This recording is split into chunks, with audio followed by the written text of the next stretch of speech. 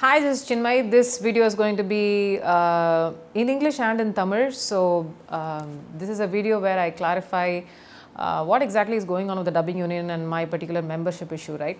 So, I joined in 2006. சிலின் ஒரு காதல் திரைப்படத்தில் நான் பூமிகா சாவ்லா அவர்களுக்கு குரல் கொடுத்தேன் and uh, the salary for that film was taken as my membership uh, fee.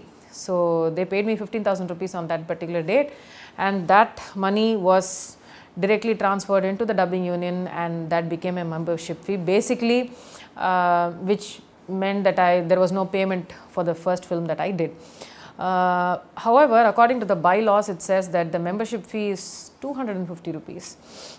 But uh, this very arbitrary, um, you know, uh, membership fee of the dubbing union, which is also compulsory. If you do not become a part of the dubbing union, they will tell you that they will prevent a film from releasing. Uh, which is the exact thing that they told me at that point in time and saying that I did not think that I'm going to have a very very long career as a voiceover dubbing artist.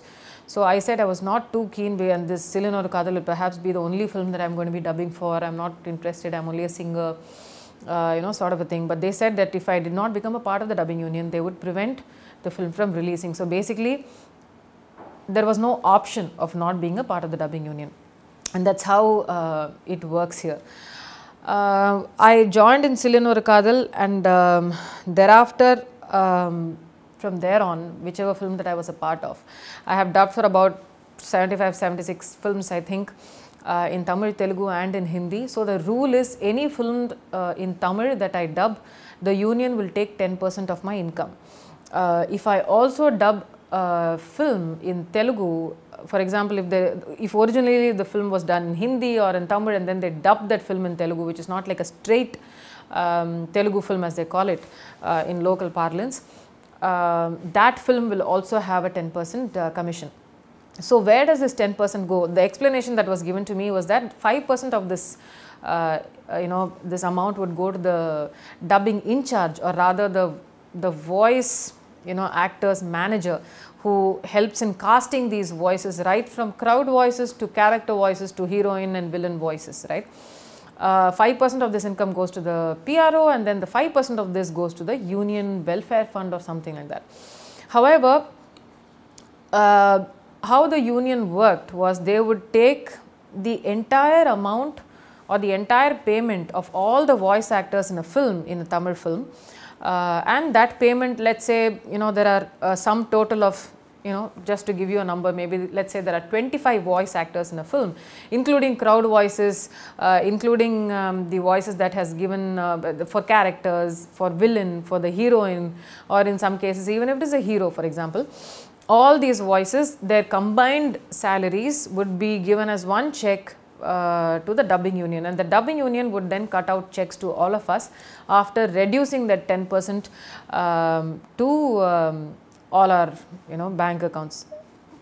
Now uh, there wouldn't be a receipt uh, that would say that they have deducted 10% there would just be a check. And then after a point in time once um, i started having auditing issues because there was no you know uh, invoice that was raised by me to them and then they would not give a receipt for or a voucher for deducting the 10% uh, you know um, of from my income. So after a very very long time i started um, telling them that you know uh, you know you basically don't want to be in loggerheads and you don't want to be fighting with anybody about this. So i said that i will raise invoices to uh, the films that i work on. Let me raise the invoice you will anyway get to know which film that i'm working in uh, நான் பேச போகிற படம் anyway உங்களுக்கு தெரிய தான் போகுது என்ன அமௌண்ட்டுன்னு உங்களுக்கு தெரியும் நான் இன்வாய்ஸ் ரைஸ் பண்ண போகிறேன் so I would say that I'll raise the invoice and then once the money reflects in my account, I would pay the 10% to the dubbing union. So a lot of times the since they would say that these uh, dubbing you know managers uh, in charge people may not afford it, they would ask for cash. So we would give cash and then some PROs would just come and say that they will go and uh, deposit the remaining in the dubbing union. This is something that has just been going on for a very long time and this is something that we do without questioning. Um, another thing that um, happened uh, a while ago, I mean a very long time ago, was that sometime in the late 2000s, I think uh, they sent me a notice, a show cause notice, uh, saying that I had spoken ill of the dubbing union uh, based on a random rumor, and I was asked to come and explain myself. So dubbing யூனியனை பற்றி தவறாக பேசினதாகவும் uh, மீதி பேரை இழிவுபடுத்துறதுக்கு நீங்கள் வந்து உங்களுக்கு யூனியன்லேருந்து நாங்கள் terminate செய்கிறோம் அப்படின்னு ஒரு லெட்டர் வந்தபோது எனக்கு I didn't know on what basis that was so they named an SS music interview of which I took and it was that interview was in English so I remember taking the copy of that interview from SS Music and then giving a copy at the dubbing union and then furnishing a letter saying that uh, I have not spoken ill of anybody. Especially that particular interview did not have me in even mentioning anything about dubbing at all at that point in time. So I said, I don't know where this is coming from and why you would send me a show cause notice and threatening to, you know, uh, terminate my membership based on a random rumor. However, I went to the dubbing union at that point in time, which was in Habibullah Road. Uh, it was in the old uh, Nadigar Sangam building. Um, I had met the, I'm not sure if he was the secretary or the treas- treasurer, Mrs. Selvaraj, at that point in time. And he said, okay, okay, no problem, don't worry. And then that was that. Uh, they didn't even take it seriously. But the fact was, they had sent me a show cause notice. So, if they had to terminate my membership, என்னோட மெம்பர்ஷிப்பை terminate பண்ணணும்னா முதல்ல அவங்க ஒரு show cause notice அனுப்பணும் show cause notice அனுப்பிச்ச அப்புறமா நான் வந்து பதில் சொல்லணும் so they can just randomly take a decision at least according to their rules that they want to you know if they you know terminate uh, membership. Now, the dubbing union is registered as a trade union body and it's supposed to follow rules of a trade union and stuff like that. There was a point in time um, during the Sri Lankan Tamil genocide and the war crimes that were happening on the Sri Lankan Tamils unfairly, uh, that the Tamil industry decided to register its voice of protest uh, in several events, several uh, protest marches and protest meetings, um, you know, which I have also been very uh, honest to my soul. I've always been wanted to be a part of it, and um, uh, the thing about that was that I think in a particular calendar year there would be anything between four and six such protest meetings that would uh, be organized, and uh, what would happen is that. Um, if as a professional you had a different professional commitment, you would be expected to cancel that and attend the protest meeting. Now, considering that a lot of us would have been a part of these protest meetings, uh, you know, uh, I have sung in so many of those events, um, helped a lot of these people, uh, you know, raise funds for causes. Uh, there was this one particular time that uh, the meeting date coincided with a different professional commitment, a, a, concert of sorts that I had in Kerala. That was a classical music concert or a ghazal concert, I don't remember well now. And I remember requesting Mr. Radha Ravi to exempt me on that particular day because I had attended every other meeting, every other protest meeting I had been a part of. And there would always be a registry that would be maintained by the dubbing union. Uh, to make sure that all artists attended that. So, whichever artist did not attend those meetings either due to pro professional or personal commitments would be uh, terminated, they would be uh, suspended and then they would have to you know come and apologize and give reasons as to why they didn't turn up. Um, so I remember ha having a call with Mr. Radha Ravi saying that I definitely wanted to, I had to go because I had taken an advance and I was expected to go and fulfill my professional commitment. And I, I remember Mr. Radha Ravi telling me that if I didn't land up at the protest meeting, he would terminate my membership and uh, he would give me a red card. And that he was also a busy artist and he was also acting and he was cancelling his shoot and coming to the protest meeting. And it was my business to uh, land up at as well. So that day, I had to cancel my concert and I went to the meeting, I signed on the register and I came back silently. Now, it was perhaps during that time uh, that, uh, you know, around that time, I think uh, a very, very popular female actor in the south was also handed out a red card because she acted in a Hindi film which was shot in Sri Lanka. Thereafter i think she didn't really i don't know if she acted in tamil films after that but she was given uh, there was disciplinary action taken for a decision that she really did not have a part on. Uh, but that was that that was uh, how some you know decisions were taken. And then there was another time that um, there was a general body meeting at the dubbing union. They claimed to have sent me a letter which never reached me. Because if a show cause notice could reach me i don't know why this letter couldn't reach me because i was more or less on the same address. Um, and then I had to go explain myself uh, apologize for not having come to the general body meeting, and that was perhaps my first, um, you know, meeting at the dubbing union office. Uh, where was, there was a lot of uh, abuse. There was a lot of, uh, I mean, verbal abuse. There was a lot of yelling and shouting, and I realized how um, how he could yell when somebody didn't turn up at the general body meeting. So I was not the only one at that meeting. There were other artists as well, and everybody got yelled at equally. It was not as if uh, somebody was given a special treatment. And I remember being so shaken that I had, I was crying. My mother was also pre present that day and um, I told him that the letter never reached me, I'm sorry. And he said, That's okay, make sure that you are there at the next general body meeting. Now, coming to the termination of sorts, um, what happens is what seems to have happened at the general body meeting the past week was that there was a meeting and uh, the council members or the other office bearers or council members decided that they would terminate me and the decision to veto that termination rests with the president which is Mr. Radha Ravi. Um, I especially when something like this happens they are also supposed to send me a show cause notice. I was not in the country, I have not uh, had not received any such letter, neither did they intimate me that something like this happened. In 2016 February, basically by January 15th or January 30th, you are supposed to pay your subscription fee, which is about 180 rupees or something like that, right? Um, and I have been paying all that, and, uh, and I have also been uh, paying about 10% of my income for since 2006. So I'm sure their income from me alone would run to several lakhs. So I don't know why they would uh, terminate my membership for not paying 180 rupees, right.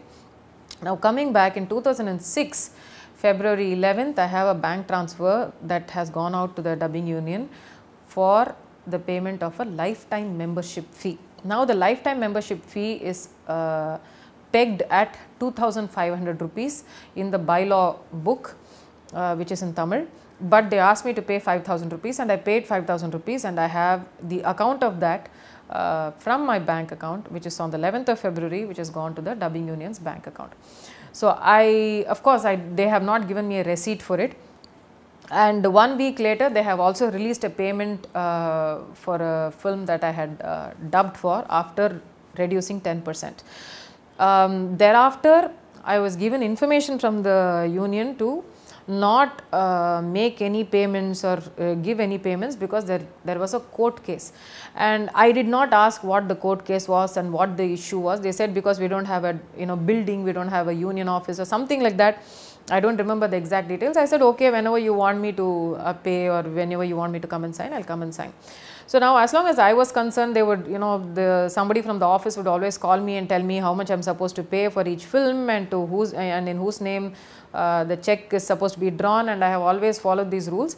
And if they asked me to pay in cash and I have also paid in cash and none of these times I would have ever, uh, I was ever given receipts.